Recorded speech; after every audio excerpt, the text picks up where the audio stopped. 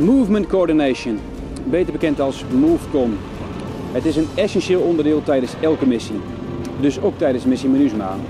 Sergeant Bad heeft juist een Antonov binnengehaald met 9 ton vracht. Dat kan van alles zijn. Variërend van post voor uitgezonden militairen tot nachtzichtapparatuur voor Task Group Desert Falcon.